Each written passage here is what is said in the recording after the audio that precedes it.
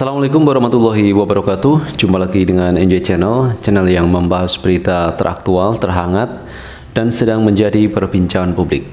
Sahabat NJ Channel Kali ini yang akan kita bahas mengenai peta politik 2024 Karena kalau kita melihat teman-teman bahwa Pak Anies Baswedan Akan berakhir masa jabatan di tahun 2022 Sedangkan Ganjar Pranowo akan berakhir di 2023 jadi dua calon kandidat presiden ini akan berakhir masa jabatan sebelum Pilpres di 2024. Kemudian sisi lain teman-teman ada Pak Prabowo Subianto. Pak Prabowo saat ini menjadi Menhan yang namanya selalu masuk dalam peringkat survei teratas.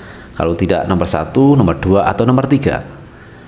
Dan Pak Prabowo sendiri masa jabatan tentu akan berakhir di 2024 sesuai dengan masa jabatan presiden.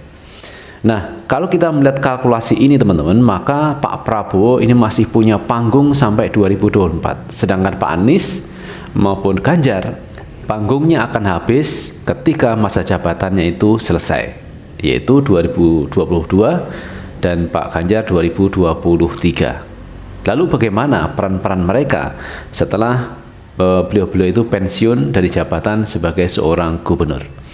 Nah teman-teman untuk lebih jelasnya kita akan lihat pandangan dari sebuah lembaga survei bagaimana melihat kondisi seperti ini. Apakah Pak Anies Baswedan nanti akan bergabung dengan partai politik? Karena selama ini kita lihat Pak Anies tidak punya partai politik teman-teman.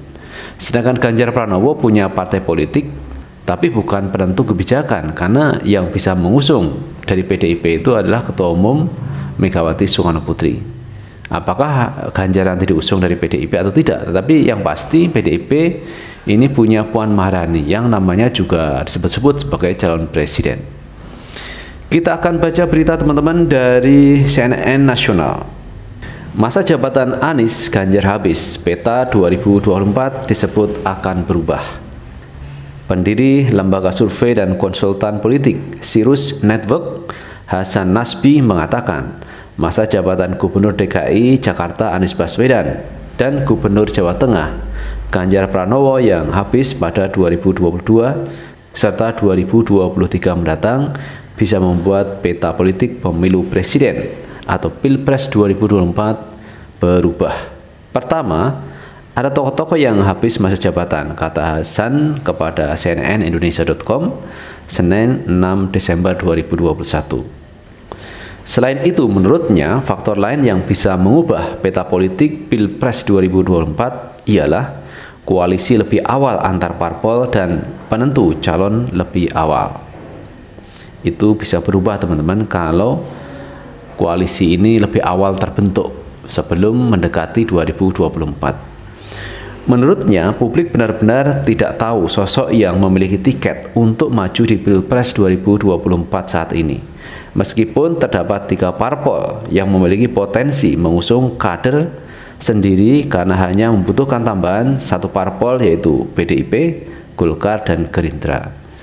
Jadi tiga parpol ini sangat kuat teman-teman karena partai politik yang punya suara terbanyak di parlemen yaitu PDIP, Golkar, dan Gerindra. Nah, Ketika partai politik ini misalkan PDIP sebenarnya tidak perlu koalisi karena dia bisa mengusung calon presidennya. Golkar dan Gerindra ini hanya menambah satu partai politik ini sudah bisa mengusung calonnya. Jadi calon presiden ini sangat ditentukan oleh tiga partai politik ini. Kalau tidak PDIP, ya Gerindra ataupun Golkar ini sangat menentukan teman-teman. Ke mana mereka akan berlabuh ke mana mereka akan berkoalisi tentu ini bisa kita lihat performa sekarang. Karena kalau kita melihat hubungan Pak Prabowo sama PDIP itu cukup dekat. Apalagi dulu Pak Prabowo pernah menjadi calon wakil presidennya Megawati. Jadi calon presiden namun dalam pemilihan kalah dengan Pak SBY waktu itu. Namun hubungan ini bisa uh, diikat kembali. Apalagi Megawati juga pernah berjanji dalam perjanjian batu tulis akan mengusung Prabowo menjadi calon presiden. Jadi ada perjanjian batu tulis di mana Megawati sudah teken kontrak tanda berikutnya akan mengusung Pak Prabowo menjadi calon presiden. Tetapi perjanjian batu tulis itu diingkari, tidak dilaksanakan oleh Megawati dan bahkan Megawati malah memilih Pak Jokowi untuk menjadi calon presiden kemarin di 2014. Jadi itu yang membuat perjanjian batu tulis tidak bisa terlaksana. Tetapi apakah ini akan menjadi sinyal kuat akan ada koalisi PDI dan Gerindra untuk mengusung Prabowo Puan di 2024? Karena bagaimanapun juga teman-teman PDIP itu punya kan kuat untuk mengusung calon presiden sendiri. Oke, kita teruskan teman-teman. Ini dua hal yang bisa mengubah peta survei. Kalau sudah dibungkus, saya yakin orang akan melihat, oh ini yang sudah punya tiket, ujar Hasan. Berdasarkan hasil survei sejumlah lembaga sejauh ini, Hasan menerangkan ada tiga nama calon potensial, yaitu Anies, Ganjar, dan Ketua Umum Partai Gerindra sekaligus Menteri Pertahanan Prabowo Subianto.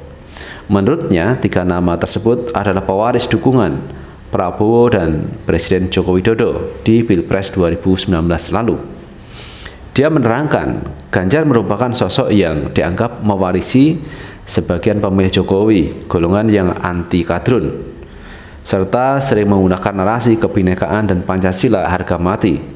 Lalu Anies merupakan sosok dianggap mewarisi mantan pendukung Prabowo yang banyak menggunakan narasi agama dan anti dengan Jokowi. Sementara itu Prabowo adalah veteran Pilpres yang punya pendukung tetap sekitar 25 persen. Sisanya ada yang kebagian warisan sedikit itu AHY, Agus Harimurti Yudhoyono, Sandiaga Uno, Imbu Hasan. Dia menambahkan dukungan pada tiga nama teratas itu lebih berdasarkan keyakinan dan bukan persepsi rasional. Sebelumnya, politikus Partai Gerindra Arief Puyono yakin Ganjar dan Anies tidak akan mencalonkan diri sebagai Presiden 2024. Ia menyebut faktor jabatan publik dan sorotan media massa akan menentukan kandidat Pilpres 2024 sementara Anies dan Ganjar habis masa jabatan sebagai gubernur sebelum 2024 sehingga akan kehilangan popularitas. Dua tokoh ini baterainya habis di 2022 baterainya habis Ganjar dan Anies.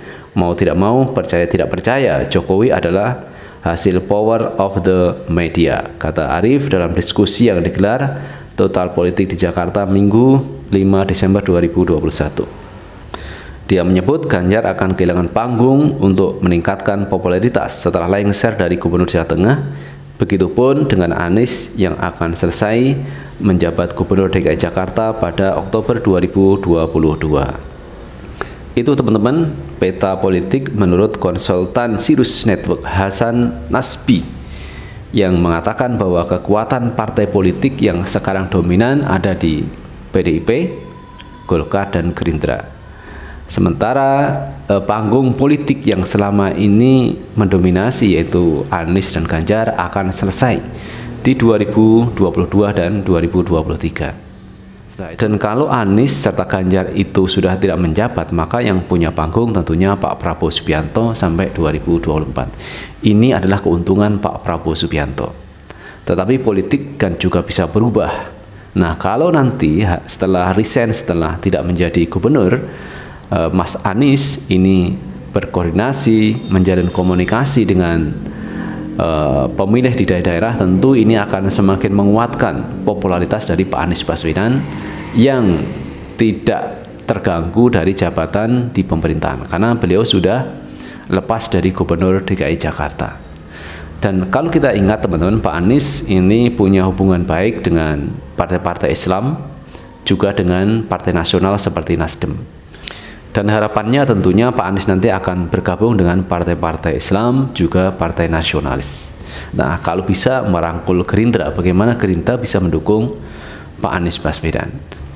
Namun semua itu masih berkembang teman-teman terkait ke mana koalisi nanti akan berkumpul. Partai-partai nasionalis ke mana, partai Islam ke mana, siapa yang akan mendukung Pak Anies, Ganjar atau Pak Prabowo Subianto. Kalau ini masih menjadi tren sampai 2024 bahwa tiga nama ini tetap menjadi fokus masyarakat Indonesia yang mana tiga nanti akan menjadi calon presiden di 2024. Itu teman-teman yang bisa kita bahas kali ini dan bagaimana menurut pendapat teman-teman sekalian tulis di kolom komentar karena komentar teman-teman akan sangat bermanfaat untuk yang lain. Sukses selalu. Assalamualaikum warahmatullahi wabarakatuh.